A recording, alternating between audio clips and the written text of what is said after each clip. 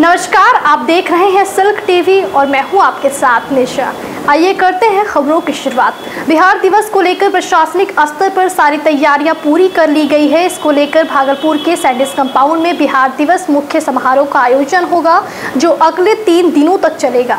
वहीं Sandis compound में आयोजित मुख्य समारोह को लेकर मंच निर्माण का कार्य लगभग पूरा हो चुका है, जबकि बची हुई तैयारी ज़ोर शोर से की जा रही है। बता दें कि समारोह में जहाँ बिहार और भागलपुर के गौरव से जुड़ी कई तरह के स्टॉल लगाए जाएँगे, जबकि स्कूली बच्चों के अलावा कलाकारों के द्वारा सांस्कृतिक कार्यक्रम की भी प्रस्तुति दी जाएगी।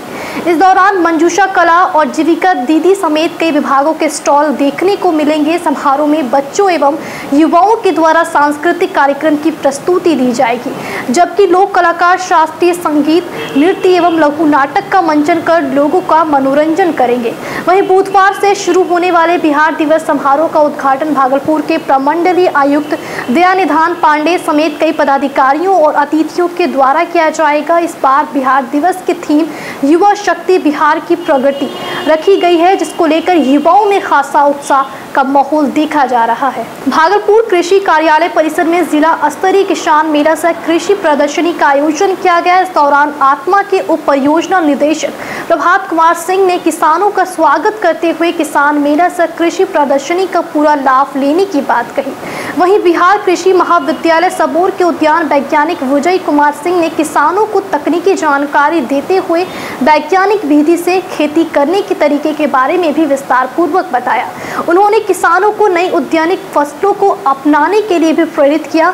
इसके अलावा किसान मेला में ज़िले के 16 प्रखंडों से पहुँचे एक सौ तिरपन किसानों को कृषि विश्वविद्यालय का परिभ्रमण भी कराने की बात कही गई।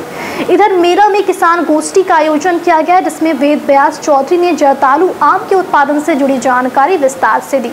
साथ ही किसान कृष्णानंद सिंह ने जैविक विधि से जरदालू आम उत्पादन की जानकारी साझा करते हुए इसके उत्पादन में वृद्धि करने की बात कही। वहीं पिरपैती प्रखंड के तकनीकी प्रबंधक परमेश्वर कुमार सिंह ने भी अपने कई सुझाव दिए।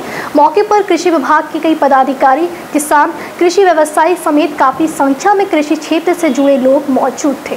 भागलपुर शाहपुर प्रखंड अंतर्गत सजौर थाना क्षेत्र के किशनपुर अमखोरिया पंचायत जगन्नाथपुर निवासी प्रमोद यादव का 16 वर्षीय पुत्र राहुल कुमार घर से लापता हो गया। इसको लेकर परिजनों का कहना है कि सुबह 10 बजे साइकिल ठीक कराने की बात कहकर राहुल निकला था, लेकिन इसके बाद वह घर नहीं लौटा। वहीं काफ़ी खोजबीन करने के बाद भी पुत्र घर नहीं लौटा तो उसके घर वालों ने घटना को लेकर सजौर थाने में उसके गुमशुदगी की रिपोर्ट दर्ज कराई। इसके बाद पुलिस राहुल की तलाश में जुट गई। इधर प्रमोद यादव का कहना है कि उनके पुत्र ने पीला और काला टी शर्ट के साथ काला फुल पैंट पहना है। तुलका मांझी, भागलपुर विश्वविद्यालय अंतर्गत विश्वविद्यालय व्यावसायिक संविदा व्याख्याता संघ की ओर से अपनी विभिन्न मांगों को लेकर तीन दिवसीय धरना प्रदर्शन किया गया। मंगलवार को व्यावसायिक संविदा व्याख्याताओं ने धरना देकर विश्वविद्यालय प्रशासन से अपनी चार सूत्री मांग के समर्थन में जमकर नारा भी लगाया।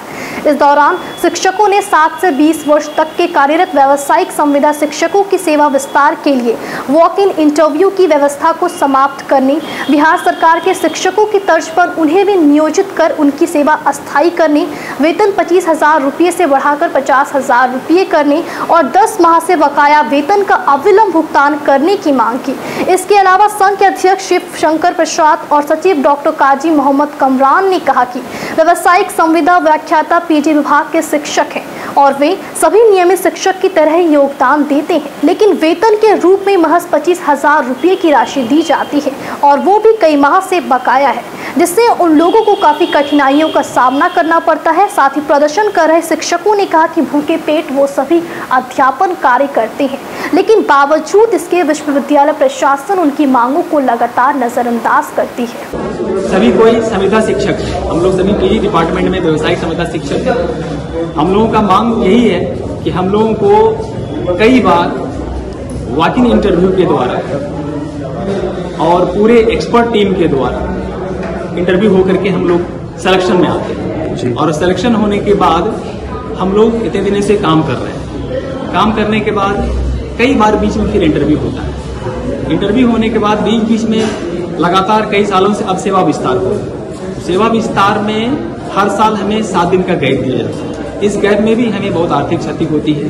तो हम जो है श्रीमान कुलपति महोदय से एवं अन्य अधिकारियों को इनके प्रतिलिपि देकर के मांग करते आ रहे हैं कि हमें बार बार ये वाकिन इंटरव्यू प्रक्रिया से हमें मुक्त किया जाए और सेवा विस्तार की प्रक्रिया से भी हमें मुक्त किया जाए। ये हमारी मांग है। और साथ ही साथ हमारी मांग है कि हम लोगों का वेतन भी बहुत कम है। हम लोग डिपार्टमेंट के प्रोफेसर हैं।